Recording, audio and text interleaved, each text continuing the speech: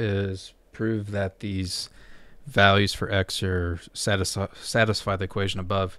So basically, before we even look at the unit circle, so we're multiplying whatever value we have by 4. So in the first case for a, 4 pi over 6 is equal to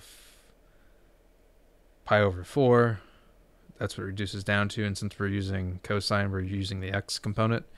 So it's actually equal to 2 times the cosine of pi over 4, which in this instance is uh, root 2 over 2 squared. Because that's the same, that's just a shorthand notation there for squared. Um, so we end up with uh, 2 times 2 over 4. So this just reduces down to 1 minus 1 equals 0.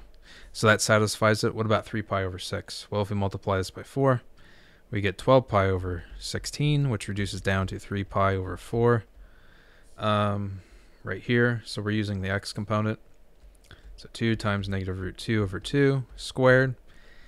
2 times 2 over 4 this reduces down to 1 minus 1 equals 0. So that verifies that these are both correct. Okay, I hope this problem helped you out. I uh, appreciate taking time to watch this video, and you have a great day.